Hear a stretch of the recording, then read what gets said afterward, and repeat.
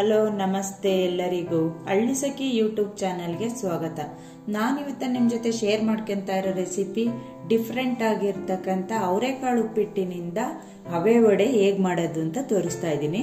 ಅದಕ್ಕೆ ಏನೇನು ಇಂಗ್ರೀಡಿಯೆಂಟ್ಸ್ ಬೇಕು ಅಂತ ನೋಡೋಣ.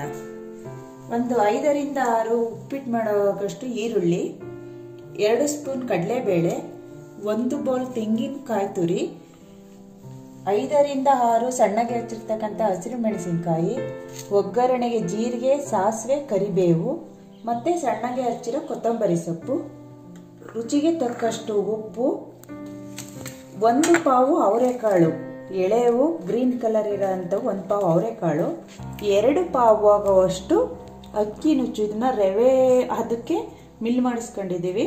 ಅಕ್ಕಿ ನುಚ್ಚು ಇದು, ರವೆ ಥರ ಮಾಡಿಸಿಟ್ಕೊಂಡಿದ್ದೀವಿ, ಎರಡು ಪಾವು.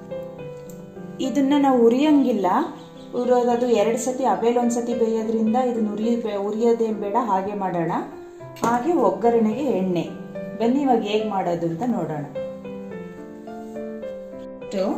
ಒಗ್ಗರಣೆ ಆಗೋದಕ್ಕೂ ಮುಂಚೆಲೆ ಬಿಸಿನೀರು ಕಾಯಕ್ಕಿಡೋಣ. ಒಗ್ಗರಣೆ ಆಗೋದ್ರೊಳಗೆ ಬಿಸಿನೀರು ಕಾಯ್ತವೆ. ಎರಡು ಪಾವು ಅಕ್ಕಿ ಅಕ್ಕಿ ರವೆ ತಗೊಂಡಿರೋದ್ರಿಂದ ನಾಲ್ಕು ಕಪ್ಪು ಆಗೋಷ್ಟು, ನಾಲ್ಕು ಪಾವನಷ್ಟು ನೀರು ಕಾಯಕ್ಕಿಡೋಣ. ಈಗಲೇ ಅಳತೆ ಮಾಡಿ ಇಟ್ಬಿಡ್ತಾ ಇದ್ದೀನಿ.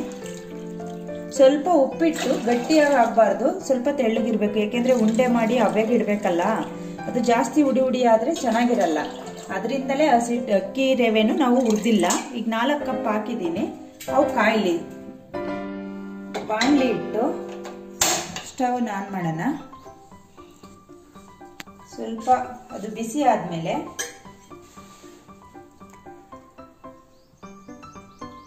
ಒಂದು ಮೂರರಿಂದ ನಾಲ್ಕು ಸ್ಪೂನ್ ಆಗುವಷ್ಟು ಎಣ್ಣೆ ಬಿಡೋಣ. ಕಾದಿದೆ ಎಣ್ಣೆ, ಇವಾಗ ಜೀರಿಗೆ, ಸಾಸಿವೆ ಮತ್ತೆ ಕರಿಬೇವಿನ ಸೊಪ್ಪು ಹಾಕೋಣ. ಈಗ ಮೆಣಸಿನ್ಕಾಯಿ ಹಾಕೋಣ.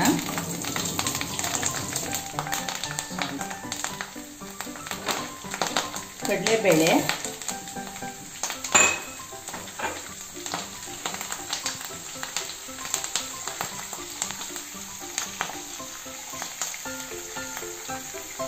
ಇದೆಲ್ಲ ಒಂದು ಸೆಕೆಂಡ್ ಫ್ರೈ ಆದಮೇಲೆ ಈರುಳ್ಳಿ.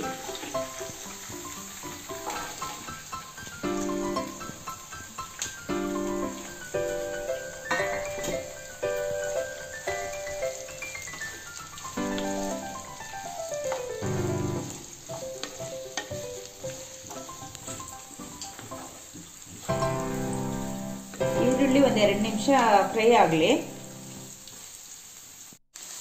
ಇವಾಗ ಈರುಳ್ಳಿ ಫ್ರೈ ಆಗಿದೆ. ಈಗ ತೊಳೆದಿಟ್ ತೊಳೆದಿಟ್ಕೊಂಡಿದ್ದೀನಿ ಅವರೆಕಾಳೆಲ್ಲ ಹಾಕಿ.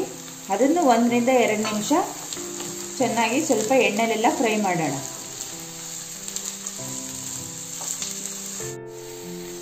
ಅವರೆಕಾಳು, ಈರುಳ್ಳಿ ಎಲ್ಲ ಎಣ್ಣೆಲಿ ಫ್ರೈ ಆಗಿದೆ. ಇವಾಗ ಅವಾಗಲೇ ಬಿಸಿನೀರು ಕಾಯಕ್ಕಿಟ್ಟಿದ್ವಲ್ಲ ಕಾದಿದೆ. ಅಳತೆ ಮಾಡಿದ್ದೇನಲ್ಲ ಅವಾಗಲೇನ ಈಗ ಡೈರೆಕ್ಟ್ ಬಿಸಿನೀರ ಹಾಕ್ತಾ ಇದ್ದೀನಿ. ಎಲ್ಲವೂ ಬೇಕು, ಯಾಕೆಂದ್ರೆ ಆಗ್ಲೇ ಅಳತೆ ಮಾಡಿದ್ದೆ. ಎರಡು ಪಾವ್ ಅಕ್ಕಿಗೆ ನಾಲ್ಕು ಪಾವ್ ನೀರು ಅಂತ. ಇದು ಇವಾಗ ಮಳ್ಳಿ, ಅವರೆಕಾಳು ಬೇಯಬೇಕಲ್ಲ? ಬೇಯಲಿ, ಒಂದು ಐದರಿಂದ ಹತ್ತು ನಿಮಿಷ ಆಗುತ್ತೆ ಬೇಯಲಿ. ಇವಾಗ ಕುದಿ ಬರ್ತಿದೆ. ಉಪ್ಪು ಹಾಕ್ಬಿಡೋಣ.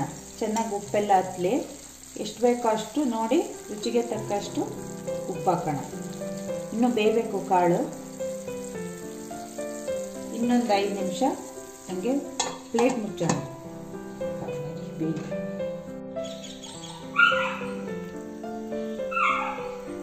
ಅವರೆಕಾಳೆಲ್ಲ ಚೆನ್ನಾಗಿ ಬೆಂದಿದೆ. ಈಗ ಕಾಯಿ ಮತ್ತೆ ಕೊತ್ತಂಬರಿ ಸೊಪ್ಪು ಹಾಕಿ ಒಂದು ನಿಮಿಷ ಕೈ ಆಡೋಣ. ಕೊತ್ತಂಬರಿ ಸೊಪ್ಪು.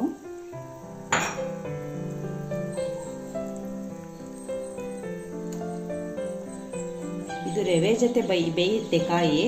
ಅದನ್ನೇನು ಜಾಸ್ತಿ ಇವತ್ತು ಬೇಡ. ಒಂದು ನಿಮಿಷ ಹಿಂಗೆ ಕೈ ಆಡಿ. ಇವಾಗ ಅಕ್ಕಿ ರವೆ ಬಿಡೋಣ. ಇವಾಗ ನಾವು ಅಕ್ಕಿ ರವೆನ ಬಿಡೋಣ. ಇದು ಉಪ್ಪಿಟ್ಟೇನೆ, ಆದರೆ ಅಕ್ಕಿ ರವೆ ತಗೊಂಡಿದ್ದೀವಿ, ಪ್ಲಸ್ ಅದನ್ನ ಹುರಿದಿಲ್ಲ. ಸ್ವಲ್ಪ ತೆಳ್ಳಗೆ ಇರಬೇಕು. ಗಟ್ಟಿ ಮಾಡಿದರೆ ಅದು ಅಂಟಲ್ಲ, ತೆಳ್ಳಗೆ ಮಾಡಬೇಕು. ಅಷ್ಟೇ ಉಪ್ಪಿಟ್ಟಿಗೂ ಇದಕ್ಕೂ ಡಿಫ್ರೆನ್ಸ್ ಏನು ಜಾಸ್ತಿ ಇರಲ್ಲ.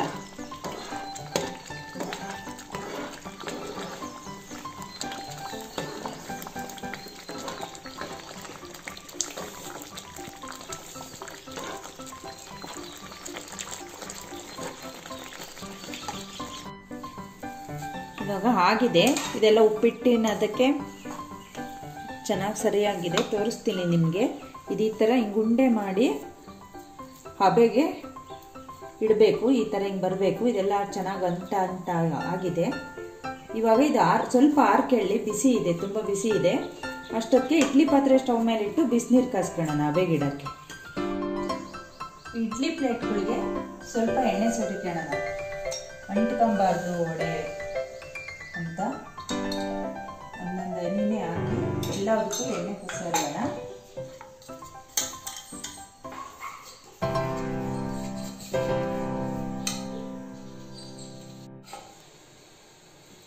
ನೋಡಿ, ಮುಂಡೆ ಮಾಡ್ಕೊಂಬಿಟ್ಟು ಈ ಥರ ಇಟ್ಟು ಮಧ್ಯೆ ಹಿಂಗೆ ಹೋಲ್ ಮಾಡೋದು ಏಕೆ ಅಂದರೆ ಇದಕ್ಕೆ ತುಪ್ಪ ಹಾಕ್ಕೊಂಡು ಪಕ್ಕಕ್ಕೆ ಚಟ್ನಿ ಹಾಕ್ಕೊಂಡು ತಿನ್ನೋಕ್ಕೆ ತುಂಬ ಚೆನ್ನಾಗಿರುತ್ತೆ. ಮಕ್ಕಳಿಗೆ ಇದಕ್ಕೆಲ್ಲ ಮಧ್ಯ ತುಪ್ಪ ಹಾಕ್ಕೊಟ್ರೆ ಸ್ಪೆಷಲ್ ಏನೋ ಅಂದ್ಕೊಂಡು ತಿಂತಾರೆ ಅಂತ ಆ ಥರ ಗುಣಿ ಮಾಡಿದ್ದೀವಿ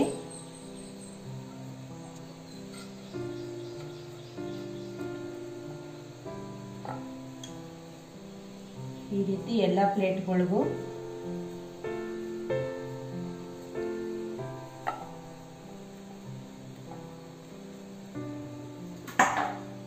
ಉಂಡೆ ಮಾಡಿ ಉಂಡೆ ಮಾಡಿ ಇಟ್ಕೊಂಡಿದ್ದೀನಿ.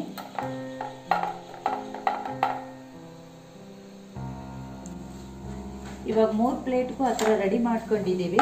ಇದನ್ನು ಇಡ್ಲಿ ಪಾತ್ರೆಗೆ ನೀರು ಕಾದಿದೆ. ಅದಕ್ಕೆ ಇವಾಗ ಜೋಡಿಸೋಣ.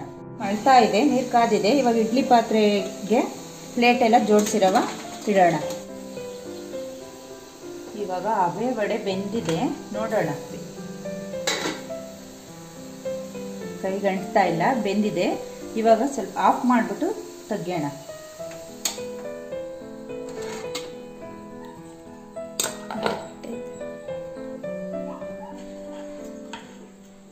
ಇದೆಲ್ಲ ಚೆನ್ನಾಗಿ ಬೆಂದಿದೆ, ಹಂಡ್ತಾ ಇಲ್ಲ.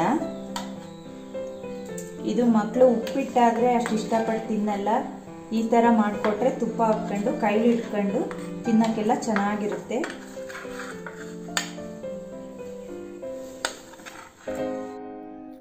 ಈಗ ಒಡಗಡ್ಬು ಅಥವಾ ಅವರೆಕಾಳಿನ ಉಪ್ಪಿಟ್ಟಿನಿಂದ ಅವೆ ವಡೆ ರೆಡಿಯಾಗಿದೆ. ಈ ವಿಡಿಯೋ ನಿಮಗೆಲ್ಲ ಇಷ್ಟವಾದರೆ ಹಳ್ಳಿ ಸಖಿ ಯೂಟ್ಯೂಬ್ ಚಾನಲ್ಗೆ ಲೈಕ್ ಮಾಡಿ, ಮರೆಯದೆ ಶೇರ್ ಮಾಡಿ, ನಮ್ಮ ಈ ವಿಡಿಯೋನ ಫಸ್ಟ್ ಟೈಮ್ ನೋಡ್ತಾ ಇದ್ದರೆ ಸಬ್ಸ್ಕ್ರೈಬ್ ಮಾಡಿ. Thank you.